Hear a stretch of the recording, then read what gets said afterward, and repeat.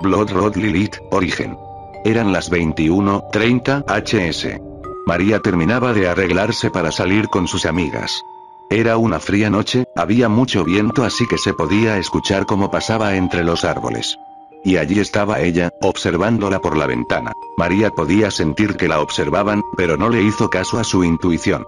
Escuchó un golpe fuerte en la mesa, se dio vuelta rápidamente, y ahí estaba ella que en sus manos tenía un botón, lo miró extrañada y vio que lo apretó. Las luces se apagaron y se llegó a escuchar la voz bajita de ella diciendo, ella está aquí, ella te está mirando. María quedó en shock mientras escuchaba los pasos de ella acercándose, sintió unas frías manos tomándola del cuello y empujándola contra la pared. Ella sacó un machete detrás de su cuerpo y con él le cortó el cuello a María. María empezó a gritar de dolor pero ella le tapó la boca, gritar no te servirá de nada en este momento dijo punto y así es como fue la primera muerte de toda una masacre. Ella se llamaba Lilith Tiller, de unos 13 años, actualmente 19, de ojos color miel y piel clara. Era una de las chicas más respetadas y queridas del colegio por su belleza, carisma y por ser buena persona, aunque era esquizofrénica. Ella tenía una hermana menor, Melanie, su madre Melissa y su padre Hernán. La esquizofrenia de Lilith empeoraba, pero no le impedía seguir adelante.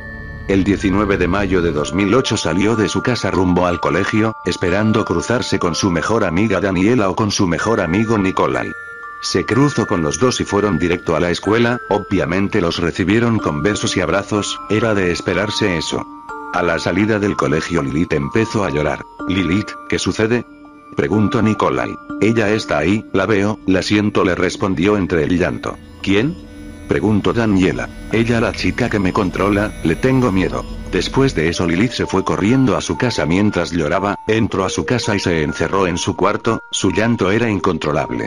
Ella está aquí, ella ella me está mirando decía una y otra vez mientras comenzó a lanzar cosas a la pared, mientras se golpeaba continuamente. Su hermana, al verla, se asustó mucho. Hay que hacer algo dijo Melanie. ¿Pero qué? Contestó su madre Melissa hay que internarla en un psiquiátrico dijo su padre Hernán. ¿En un psiquiátrico? No, no podemos dejarla como un bulto estoboso. No tenemos opción el psicólogo no ha dado avance de una mejora. Hernán entró y tomó de los brazos a Lilith. ¿Qué haces?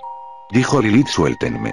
Pero fue inútil decirlo, ya que aún así la internaron Lilith no se curaba es más su esquizofrenia aumentó y poco a poco su familia se fue olvidando de ella.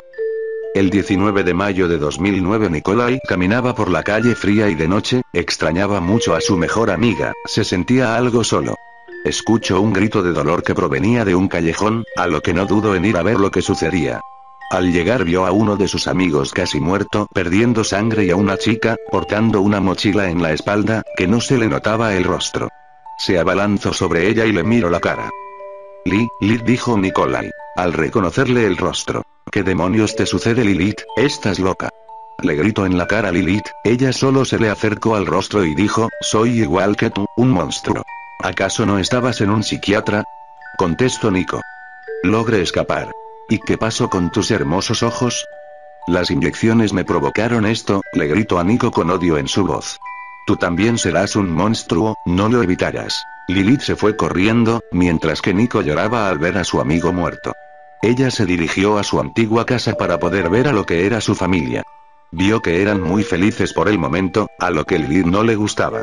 Sacó una ballesta y apuntó a través de la ventana, su hermanita la había visto, pero Lilith no le había dado tiempo de gritar, disparó rápidamente su flecha, que atravesó el cáneo de Melanie, lo mismo pasó con Melissa, pero con su padre fue distinto. Rompió la ventana y entró por ahí, apagó las luces haciendo que su padre se asuste.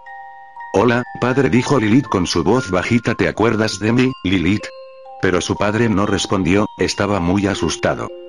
Está bien, no respondas ella está aquí, ella te está mirando. Dijo mientras se le acercaba preparando su machete. Lilith no me ataques.